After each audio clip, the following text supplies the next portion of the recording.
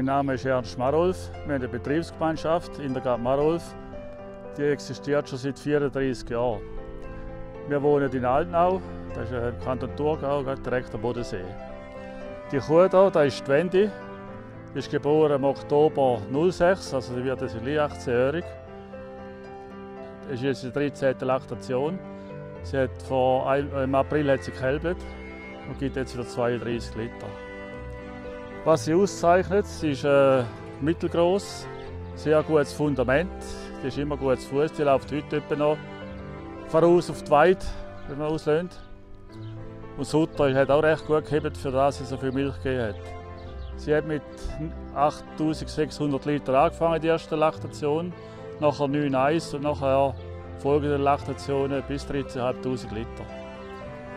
Ihre Lebensleistung ist aktuell knapp 155.000 Liter Milch mit einem Fettgehalt von 4,02 und Eiweiß 3,48.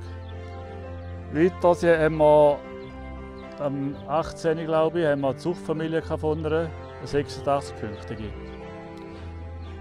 Und jetzt äh, haben wir das Gefühl, das war schon das letzte Mal, dass sie gekälbt hat. Aber man weiß es nicht, solange es so fit ist. Aber das letzte Mal schon fast nicht mehr aufnehmen und irgendwann ist halt mal fertig. Aber wir haben äh, mega Freude an dieser Kuh und hoffen, dass sie da einen schönen Lebensabend hat bei uns.